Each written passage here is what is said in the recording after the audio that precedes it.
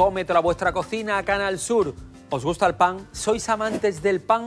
Pues ni os mováis, porque vamos a hacer un pan casero de cebolla y tomate. Un pan que, vamos, lo vais a sacar del horno y no va a llegar a la mesa, porque entre otras cosas tiene buenos tomates cherries que encontramos en Los Grillos, en Níjar, concretamente, Almería.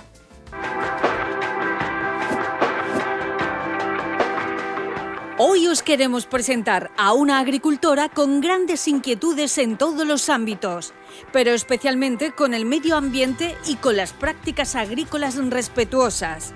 Estamos en Los Grillos, dentro del término municipal de Níjar, en Almería, y nuestros alimentos estrellas son los tomates cherry.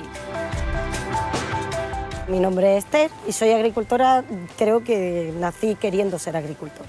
Yo creo que soy ecológica porque mi forma de pensar y de sentir es ser ecológica. El ser convencional no, no riñe con el ser ecológico, pero el ser ecológico es como un puntito más.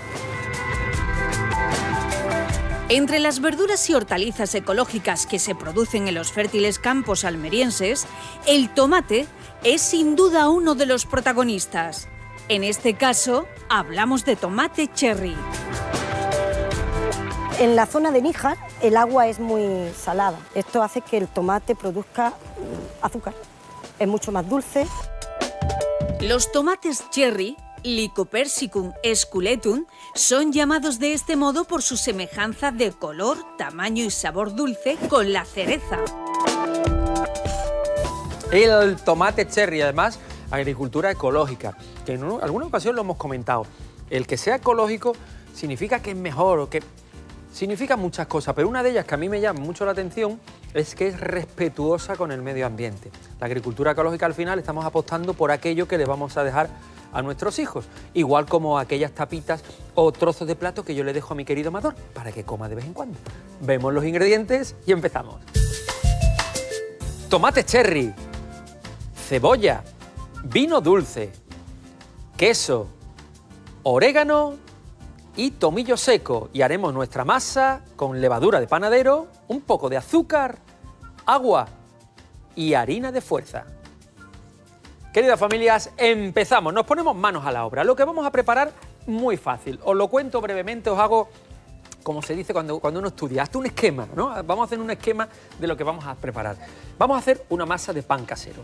En lugar de hacer ese pan tal cual, que lo podríamos meter al horno con la forma que queráis, si ya tenéis un bollito de pan, pues lo que vamos a hacer es estirarlo, que quede esponjoso y le vamos a poner sabor encima. Ese sabor va a ser tomate cherry, le vamos a poner un poquito de queso, que siempre va muy bien, y cebolla. Pero la cebolla le vamos a dar un sabor especial, la vamos a endulzar, vamos a hacer cebolla dulce. ¿Cómo? Trabajándola al fuego, sacándole el propio, el propio azúcar que tiene la cebolla, la cebolla tiene en su composición algunas cositas y entre ellas azúcar y agua. Cuando lo ponemos al fuego se va evaporando el agua, por eso se va poniendo más chiquitita y se va en cierta forma sofriendo. Se va evaporando el agua, se va concentrando el azúcar y además nosotros le vamos a echar un poquito de vino dulce para pa más inri. Vámonos, pues empezamos. Lo primero que voy a marchar, la cebolla. ¿Por qué? Porque me interesa que la cebolla también esté fría. Si yo le pongo al pan la cebolla caliente, pues el pan se pone tristón, se viene abajo. Y no queremos eso. Vámonos. Vamos a empezar a picar la cebolla, sartén al fuego. La ponemos ahí, abracadabra, pata de cabra. Vámonos. Un poquito de temperatura, chorreón de aceite, un poquito. Después, antes de añadirla sobre el pan, la vamos a escurrir. En definitiva, podríamos decir, oye, estamos hablando de una pizza. Bueno, mirad, no es una pizza, una pizza en definitiva es una masa es una masa de pan muy fina, aunque también se puede hacer esponjosa, que se le pone el tomate frito, se le pone el queso. Nosotros, como veréis, no va a ser ese el concepto. Después me vais a entender cuando, cuando la tengamos aquí y la, y la iba a decir la demostremos, no, os la mostremos y la metamos al horno. La cebolla va a ser dulce, pero la voy a picar. Voy a usar una cebolla y media. Yo creo que una cebolla y media tenemos de sobra. La otra media siempre en una cocina es fácil darle, darle salida, darle trabajo a la, cebollita. La cebolla que antiguamente, igual muchos de los que nos veis lo sabéis o lo habéis hecho, la cebolla se decía que cuando alguien está con constipaillo o está un poquito malo, ¿ah? media cebolla partía por la mitad en la habitación y por lo visto eso es maravilloso. Para el olor no es tanto, las cosas hay que decirlo, pero era un remedio de esos antiguos caseros. Y la cebolla se iba poniendo marchita, se iba poniendo muy fea, y sin embargo mejoraban mucho las personas. Eso decían, ¿eh? eso decían. Vámonos, esta media que vamos a utilizar y la otra media que después, como decía, le daremos salida.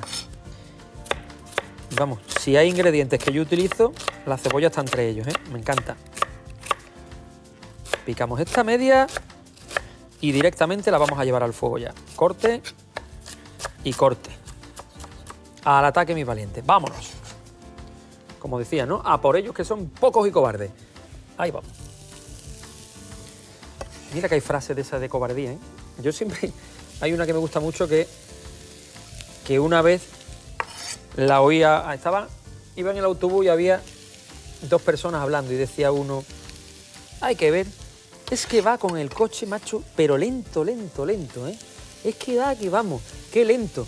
Y le dijo el otro, los hospitales están llenos de valientes que van con el coche rápido, ¿eh? yo lo escuché y digo, es una forma de, en, cierta medida, decir prudencia. Qué palabra más bonita cuando hacemos cosas, ¿eh? Prudencia. En todo, en la vida, hay que ser prudente. ¿Cuántas veces no hay que ver a esa persona, mira que dice cosas y nadie le responde? ¿Por qué? Porque el resto son prudentes. ¿para qué vamos a entrar ahí? A veces no creas que no te respondo porque no me atrevo, no, no. Entra en juego la educación. ¿Para qué vamos a entrar en esa pelea? Mi madre dice mucho una frase que, ay mamá, es que no sé qué y no sé cuánto. Me dice, hijo, si un burro te da una coz, ¿tú qué haces? ¿Vas a comisaría? Bueno, pues ya está, no le eche cuenta. A veces la ignorancia, ¿eh? Qué buena. Los consejos, los consejos de los abuelos, los consejos de los padres, que al final se cumple a rajatabla, más sabe el diablo por viejo que por diablo. Buen refrán. Y uno conforme va cumpliendo años, se va dando cuenta. No es que tenga yo 40 mm, años, todavía no he llegado a los 40, ¿no? Estoy en los veintitantos. Pero ya llegaré, ya llegaré y os lo diré. Este es el momento en el que si se ríen tus compañeros, tú dices, ¿de qué se están riendo? Bueno, vámonos. Levadura, me traigo, me traigo harina, agua y una pizca de azúcar. Vamos a hacer la masa de pan. Atención, vais a ver lo sencillo que es hacer una masa de pan. Agua tibia, la metemos en el microondas. Ábrete sésamo, ahí, muy bien, perfecto. Me gusta que me hagas caso. Le damos de, tiempo, a ver, a ver, a ver, a ver, aquí. De tiempo le vamos a dar, nada, que se caliente unos 30 segundos aproximadamente. Ahí. Que se vaya calentando. Cuenco para harina. Os cuento la levadura. Esta levadura es orgánica. La levadura orgánica es un ser vivo, es decir, va a hacer que fermente. ¿Cómo fermenta la levadura? Pues mira, la levadura se va a ir comiendo, porque le encanta, los azúcares, el almidón que hay dentro de la harina. Es decir, le gusta el azúcar, por lo tanto le vamos a ayudar con un poquito de azúcar también. Le echamos un poquito, un poquito, media cucharadita esta, una cucharilla de café en definitiva. Cuando va comiendo el azúcar, va haciendo un poco, haceros una idea, por explicar de alguna forma, la digestión. Y en esa digestión, ¿qué produce? Gases. Cuando comemos gases, pues igual, la levadura. Y ese gas que va liberando, que es CO2, es el que hace ese aire que va echando ese gas, va haciendo que la masa se vaya poniendo grande y esponjosa. Eso es la levadura. ¿Qué ocurre? Que al igual que le gusta mucho el azúcar a la levadura, los azúcares como el almidón, no le gusta nada la sal. Por lo tanto, siempre que hagamos una masa de pan, tampoco añadamos el azúcar justo al principio con la levadura. La sal, no añadimos la sal al principio con la levadura porque entonces la levadura como que no, que no le gusta y ya deja de comer. Entonces vamos a coger tranquilamente, tengo agua tibia, que es la temperatura idónea para que las levaduras se desarrollen, para que crezcan, para que empiecen a funcionar. Y vamos disolviéndola, la levadura de panadero en el agüita tibia hasta que esté bien disuelta. Le vamos dando así, paciencia. Vaya a notar que se vuelve primero como, ¿veis? Como pegajosa, como chiclosa. Seguimos moviendo y cada vez ya vais notando menos resistencia en la base. Ahí, vamos a quitar esto. Y termino de mezclar. Una vez que tengo la levadura, trabajamos en el cuenco. Voy a hacer un volcán y a mí me gusta ponerle siempre un toquecito de virgen extra al pan. En la propia, después incluso si hace falta, le vamos a untar un poquito de, pan por encima, de pan de aceite, pero a mí me gusta además ponerle un poquito de aceite aquí, dentro de la masa. Entonces, hago el volcán, el famoso volcán, que en la encimera sería abrir un hueco en el centro, como lo estoy haciendo en un cuenco, más de lo mismo, un huequito ahí en el centro, y le echo una cucharada de sopera, normal, de aceite. Eso, lo que cabe en una cucharada sopera. La levadura, que ya la disuelto, compruebo que está bien repartida por el agua y vuelco ahí, dentro. Volcamos. Empiezo a mezclar y la sal se la echaré cuando ya esté algo mezclada la levadura con la harina. Voy haciendo círculos cada vez más grandes para que vayamos cogiendo harina de las paredes del cuenco. Vamos dándole ahí. De vez en cuando lo que tengo que hacer es mover la cebolla que tengo al fuego, ¿eh? Vamos a ver, ahí tengo. con esta mano mismo hacemos así, mira. Y ahí, y la vamos moviendo. ¿Veis? La estamos caramelizando, la estamos tostando. Dejamos que siga. Nosotros moviendo, moviendo círculos cada vez más grandes. El líquido que hay dentro se va volviendo más espeso, más viscosito así, hasta que llega un momento en el que sin miedo vamos abriendo ya la cuchara los círculos y empezamos ya a ocupar todo el cuenco. Y aquí voy mezclando. En este momento es cuando ya si quiero echo la sal. Echamos aquí pizquita de sal para nuestro pan y sigo mezclando. ¿Podemos hacerlo encima de la encimera? Por supuesto. ¿Lo podemos hacer en un cuenco? Para mí mejor, porque ensuciamos menos. Vamos dándole, vamos dándole. Las medidas ya habéis visto las que os he dado. Y al final empezamos a trabajar con la mano. Introducimos ya los dedos y vamos apretando para que la humedad y la masa se vayan mezclando. Esa harina que le hemos puesto, harina de fuerza, más glutenina, es decir, aguanta la harina de fuerza lo que hace que después la masa, la miga sea más consistente, no más dura ni más blanda, no, que aguante mejor, que no se venga abajo. Voy mezclando, vamos mezclando. Yo primero trabajo así un poquito con los nudillos en el cuenco. Y una vez que lo tengo aquí, ya si queréis, ¿veis? La masa, la saco el cuenco, lo mantengo, ¿eh? que lo vamos a utilizar. Tenemos la masa, trabajamos un poco, si veis que se os pega en la encimera, un pelín de harina se le puede poner. Vamos a trabajar con un poquito de harina, para no trabajar así, que no está bonito eso. Una pizca de harina. Ahí, la cebollita. Ole. Vámonos. Y ahora cogemos. Mira, y voy a poner el cuenco aquí. Hago una bola con la masa, porque quiero que fermente. Mira qué masa. Le voy dando así, ¿veis? Como hacia adentro. Como voy cogiendo el contorno, lo meto hacia adentro. Y en el mismo cuenco donde he hecho la masa, chorrito de aceite, porque lo voy a engrasar para que fermente bien y suba por las paredes, resbale por las paredes del cuenco. Se puede poner harina o le pones así aceitito. Lo ponemos dentro, lo vamos a cubrir. Se puede cubrir con un paño, tal cual, normalmente se le pone un paño o le ponéis plástico. Y si le ponéis plástico, ponerle bien, mira, para un lado y para otro, para que haga una especie de, de que se quede ahí todo el gas y lo vais a ver como el plástico crece y lo dejamos en un sitio húmedo y que no haga mucho frío. ¿Qué os parece, por ejemplo, aquí pegadito? Cerquita del fuego, por ejemplo. Lo dejamos ahí. Esto que ya está doradita. Vino, Amador. Vámonos. Cogemos el vino. Vino dulce. Bajo fuego y dejo tranquilamente ya la cebollita ahí haciéndose con el vino, con el fuego medio, la masa fermentando, limpio un poco y tenemos que esperar a que la masa duplique su volumen, que fermente. Repaso y continuamos. Picar las cebollas y sofreírlas en una sartén con 4 cucharadas de virgen extra. Cuando cojan color, añadir el vino dulce y dejar cocinar a fuego medio hasta que se evapore el líquido. Para la masa, disolver la levadura en el agua templada. Por otro lado, disponer en un cuenco la harina y una cucharilla de azúcar. Hacer un volcán, verter un chorrito de virgen extra, el agua con la levadura y un pellizco de sal. Mezclar bien y terminar de amasar con las manos. Dejamos reposar en un cuenco engrasado, cubierto con plástico de cocina y cerca de un lugar cálido, hasta que la masa doble su volumen.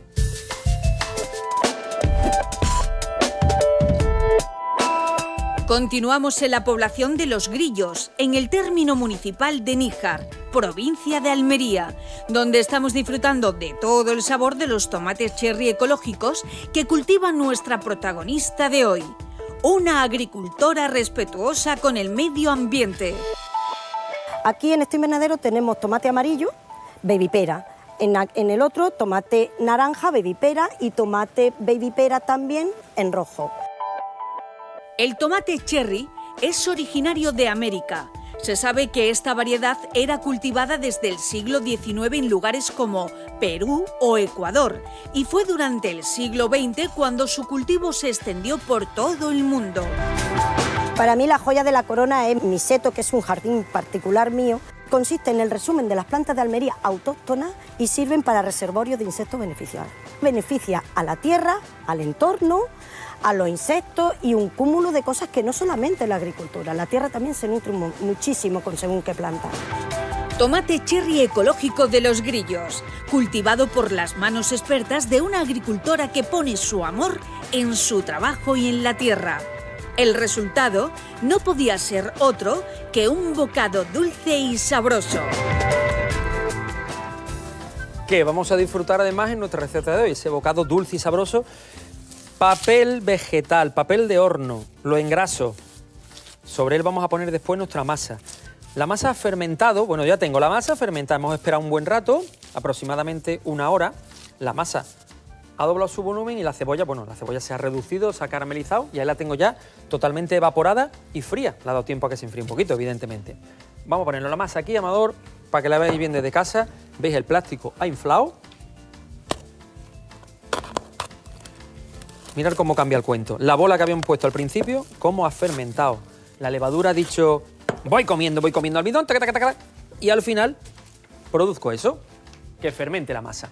Vamos a estirarla, le rompo la fermentación con las propias manos, se rompe, se viene abajo, ¿veis? La ponemos aquí, además el olor es muy característico, un olor así con toques de levadura, un poco de harina, tierna, tierna, se queda, se queda muy esponjosa y la trabajamos un poquito para, ¿veis? Que expulse ese gas que tiene dentro. Hago una pelotita, cogemos rodillo, y estiramos. Aquí le podéis dar el grosor que más os guste. Si queréis hacerla más grande, más pequeña, vamos a estirarla. Se trabaja muy bien la masa, ¿veis? Muy suave, vamos estirando. Así. Le podéis dar la forma que queráis, pues lo queremos hacer, imaginaros, pues quiero que quede redondita, quiero que quede cuadrada, lo que queráis. Yo la voy a ir estirando un poco, teniendo en cuenta que ahora la vamos a dejar que vuelva a fermentar, es decir, que va a coger otra vez algo de esponjosidad que no falte harina, la estiramos también en este sentido, aquí, una pizca, y ahora otra vez a lo largo y ya está. Hay un poco. Este es el momento en el que la podéis tirar para arriba ¿no? y empezar a jugar. Mirad, se estira muy bien. Y ya, el último toque, que le doy con, la misma, el mismo rodillo, así estiradito. A ver qué tal, yo creo que así va a estar bien, ¿eh? Que nos va a crecer un poquito. Con esto va a estar bien. Aquí aquí, ahí. Ahí lo tengo. Vámonos, pues encima del plástico, del plástico amador, vaya, vaya tarde, encima del papel vegetal que hemos engrasado, estiro un poco, le doy forma con las manos, con la yema de los dedos, ¿veis? Le hago unos agujeritos así, unos pequeños, pero sin atravesarlo, ¿eh? Y ahí lo tengo. Y ahora empezamos. Cogemos tomate cherry, ¿Cuántos vamos a poner? Pues yo creo que unos pocos. Vamos a repartir bien de tomate cherry por encima. Aquí. Vamos a ver. Primero voy a cortar los que hagan falta y ya los ponemos. Se pone bastante rápido. Ese no se cae. Ese lo hemos aguantado. Igual que nosotros estamos poniendo tomate cherry, aquí sí le podéis poner lo que queráis en casa. ¿eh? El ingrediente que más os guste. Oye, tengo unas setas. Perfecto, le ponemos una setita. El horno ya lo tengo calentado a 200 grados lo vamos calentando, aunque le vamos a dejar ahora como media hora que, fermente un poquito también para que se vuelva a poner esponjoso nuestro pan. Pan, los que cocináis os gusta mucho el pan, hay panes parecidos a este que estamos haciendo, los italianos por ejemplo le llaman focaccia. Bueno, perfecto. Vámonos. Pongo tomate y aplasto un poco, ¿eh? Y vamos aplastando un poquito, ¿veis? Con el lado, digamos, que hemos cortado, el lado del interior hacia arriba, para que no me suelte mucha jugosidad la masa. Vamos poniendo, vamos poniendo. Ponemos por aquí, bien de tomatito, que quede rico esto. Y teniendo en cuenta que esta masa va a crecer, ¿eh? Ahí, con eso yo creo que andamos bien. Vámonos con el queso. Este queso le podemos utilizar sin problema. Cortecita, dados de queso. Ay, no le he puesto la cebolla, Amador, todavía. Tengo que poner la cebollita también. Ahora se la ponemos. Le ponemos la cebolla ahora, antes del queso le voy a poner la cebolla. No, lo tengo ahí en la sartén y se me había olvidado. Ponemos aquí. Menos mal, oye. Estaba viéndola y digo, menos mal. Venga, pues vamos a poner cebollita, que vamos a aprovechar y vamos extendiendo así cebollita por entre el tomate, ¿eh? Vamos poniendo, madre mía, cómo va a estar esto. Madre mía, cómo va a estar esto. El tomate arriba, ¿eh? que queda arribita. Lo más fácil es quitar el tomate y poner la cebolla. Sería lo más fácil. No pasa. No pasa nada, ¿eh? Lo mismo, os lo digo porque esta masa va a fermentar y cuando fermenta va a crecer y un poco los ingredientes pues se van quedando, no es que vaya a crecer y ocultar los ingredientes, pero sí se van quedando enterraditos en la masa. Aquí, otro poquito por aquí, ponemos ahí, aquel ladito cebolla, otro poquito por aquí. Y aquí, y aquí, que estoy viendo cebollita, ahí. Y otro poquito ahí y ya está. Yo creo que con esa cebollita, los tomates bien, que se vean, que a mí me gusta después que cuando lo metemos al horno se vea el tomatito. Ponemos el queso repartimos quesito en dados por toda la superficie de nuestro pan. Así. Bien de quesito. Este, mm, os digo una cosa, es que tiene buena cara ya y está crudo. Dan ganas de empezar a comer. Le voy a poner pelín de orégano. Le vamos a poner un poquito de tomillo seco. En este caso, romero, perdón, romero seco, no tomillo. Se le puede poner tomillo también si queréis. Y opcional, se puede pintar o no con aceite de oliva virgen extra. En este caso, yo como ya le he puesto un poquito de aceite a la masa, no es necesario. Lo vamos a dejar aquí, voy a ir recogiendo un poco, lo vamos a dejar aquí durante media hora aproximadamente, 40 minutos, media hora, es lo normal, para que fermente un poco y en ese momento lo meteremos al horno. En unos segundos regresamos y al horno con ella.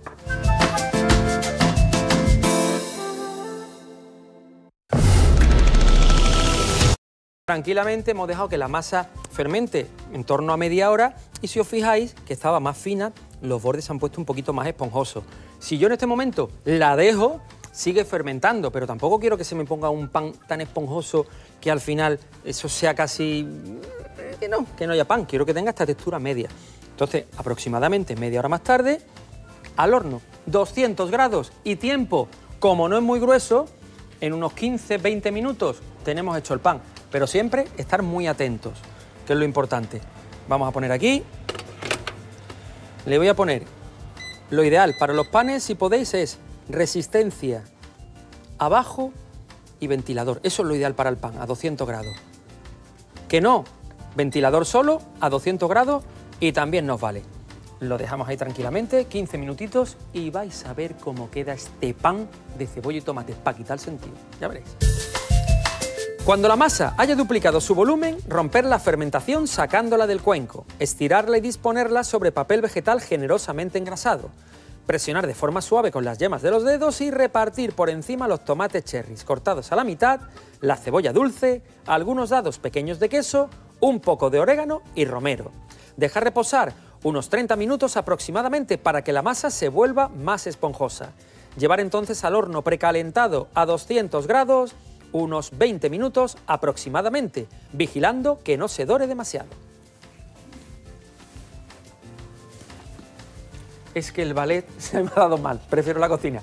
Ahí tenéis el pan en el horno esponjoso. Mira, mira cómo ha crecido el volumen que tiene, calentito como el solo. Apago horno y vámonos. La ventaja de ponerlo sobre papel vegetal engrasado es que de esa forma lo podemos quitar. Ahora bien, cuidado, no os queméis. Voy a coger mejor el papel que quema menos que el pan. Ahí. Mira, mira qué pinta tiene, por favor. Hacemos así. Fuera. No nos queremos quemar. Y no me digáis que no dan ganas de empezar a cortarlo, empezar a echarle choricito por lo harto. Qué pinta, por favor. Bueno, de, hecho, me pide el cuerpo cortarlo, ¿no? Porque está crujientito. Bueno, bueno, mira, mira, mira. Que no sé si se va a escuchar. Me voy a pegar el micro. A ver. Que no se escucha. Lo voy a cortar para que veáis con un cuchillo o cuchillo de sierra, lo que queráis. Madre mía. A ver, mira, mira, mira. ¡Oh! ¡Oh! Cuchillo de sierra. Voy a cortarla así, mira, mira. Mira qué pan, mira cómo cruje. Madre mía. Atención, familia. Mirar qué, mirar qué miga. Crujientita, crujientita. Con el aceite de oliva que le hemos puesto a la masa. Uh, esto... Me he equivocado en algo de la receta de hoy y os lo tengo que decir de corazón. El que tiene boca se equivoca. Esta receta no es para cuatro personas, es para una. Esto para uno. Esto te pone y te comes cuatro, cuatro de esto y ni te ha enterado. Lo pongo ahí y este lo vamos a poner así para que se... Mira, mira, no me digáis que no dan ganas de echar a correr con esto en la mano. ¿eh? Que me cojan, que me cojan. Mira, mira qué miga. Oh, la ponemos así, que se vea bien. Y nos vamos para presentar nuestro pan, que os lo digo de corazón. Si está blandito y crujiente por fuera, que es lo ideal en un pan, crujientito por fuera y blando por dentro, no os podéis imaginar cómo huele. Vaya aroma que tiene el pan. Le pongo un perejilito aquí y a mí me gusta terminarlo con un chorritillo ahí por encima pan con aceite que no falte en nuestra mesa nunca. A ver si cae, a ver si cae, que no, que no quiero que caiga mucho. Parece que le estoy diciendo que no con la botella. No, no, no, no. Ahí viene, ahí viene, ahí viene, viene, viene. Pan con aceite. ¡Ole! ¡Ole, ole, ole! Natilla de colores. Esto ha sido todo por hoy. Probar a hacer este pan en casa que vais a, vamos, vais a triunfar, salir por la puerta grande. Nos vemos el próximo día. Gracias por estar ahí. Suerte, salud y que seáis muy felices. Cuanto más mejor.